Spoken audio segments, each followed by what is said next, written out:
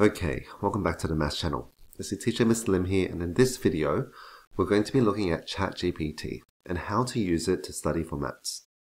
Now, um, I often get a question as a teacher, um, you know, uh, I can't seem to find the right resources, um, I want to revise for my test, um, how do I find it?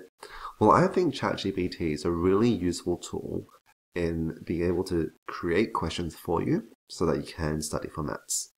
There is a downside though, uh, and the downside with ChatGPT is that it doesn't um, produce any graphs or diagrams for you. So you can't, you know, um, it can it will create word problems, but then it will mean that you'll have to draw it out.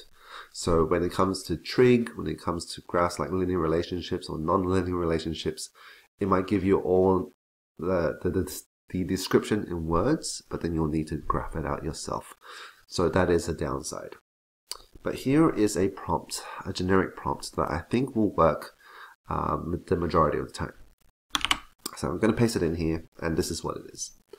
I need to be able to insert the learning intention or success criteria here. Can you please create 10 easy, 10 medium, and 10 hard questions that will help me master this skill? Please include three word problems for each level. If there's a formula, Please make the hard questions involve finding a different variable, not the subject of the formula. Please don't give me the answers yet. I, will prompt you when I want to check my answers. Thank you. Right, so I think this will be really helpful in uh, scaffolding the types of questions that you get. So start off with the easier ones, make sure you can do those ones, then have a go with the medium, and then have a go with the hard questions.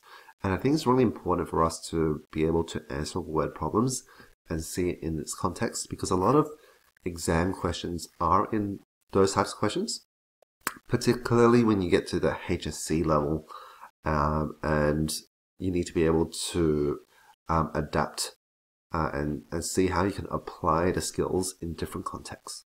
Okay. Um, so, if you use the Cambridge textbook, so from year 7 to 10, uh, the third edition of the Cambridge textbook here in Australia that we use, um, they actually have success criteria at the end of each chapter. So let me give you an example. I'm just going to bring this one up here. So here is the quadratic expressions and algebraic techniques, chapter 8 of the Year 9 third edition um, textbook. At the very end, we've got a chapter checklist with success criteria. So he says here, you know, I can expand binomial products, I can expand a perfect square and form a difference of two squares, etc. This is a really useful checklist when you're studying for your final exams or any exam. So have a look at this. Here is our um, success criteria. I can expand binomial products. So what we want to do here is we want to replace this with that. Okay, I need to be able to expand binomial products. Okay, then you can send that through, ask ChatGPT to create some, and here's a whole bunch. So here's our easy questions, here's some word problems, here's some medium questions, word problems, hard questions, word problems. All right, so this is really good because you know it's it can be difficult trying to find a website, trying to find worksheets, asking your teacher for extra work because ChatGPT just makes it for you. It creates it, you can answer it, and then you can check your answers. So once you're done, you can be like, all right, can I have the answers now, please? Okay, let's send that through. And then here's the answers for you to check your working it. All right. So um, one thing I've tried and I've played around with as well is with the diagrams, and I, like I said, it doesn't draw it for you. Um, so what I've done here, this is from the year 10, um, year 10 textbook. So this success criteria says I can use the formula for the area of a triangle. All right. Um, but we know when we first start learning about area of a triangle, we use base times height, perpendic perpendicular height. But this particular one is not um, not a triangle where we've got a perpendicular height.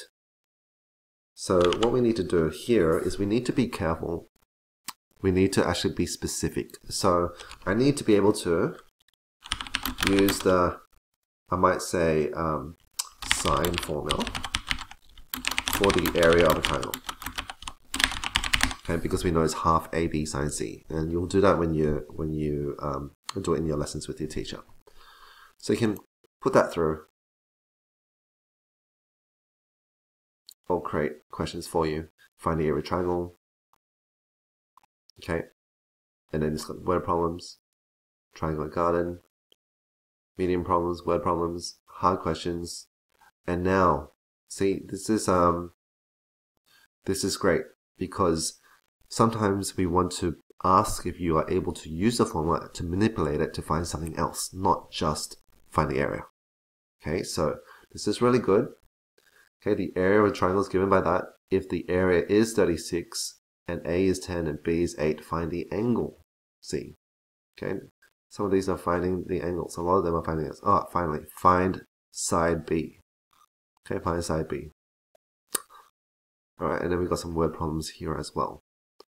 So that's really helpful. You can see here that there's no diagrams.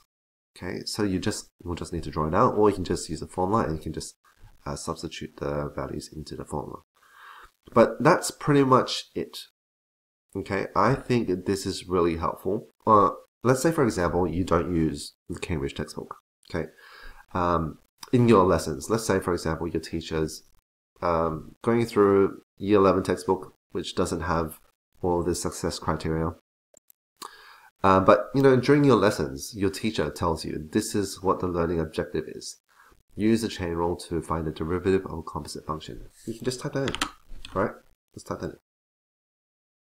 I need to be able to use the chain rule to find the derivative of a composite function. Alright. Let's send that through.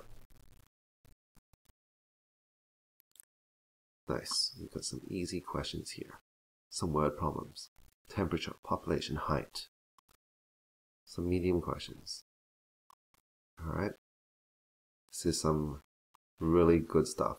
I like how ChatGPT um, uh, has like normal polynomials. It's got logs. It's got uh, trig.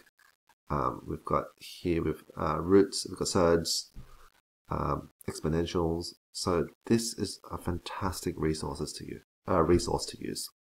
So please don't. I mean, you can ask your teacher for more work, but you also have ChatGPT. Right? I know as a teacher, we are often aware about um, you know students using ChatGPT to um, to cheat in exams or in assessment tasks in their in their assignments. But you know, ChatGPT is a fantastic tool for you to study, and this is one way to do it for maths. Okay, use use the lesson objectives, use the success criteria, and just plot it into this. So this is my prompt. If you want to pause the video, you can pause the video and you can just copy that down. Okay? And when you want to get the answers, you can just ask ChatGPT to give you the answers. Alright, I hope you found this video helpful. If you did, please give it a like and subscribe, and I'll see you in the next video. See you.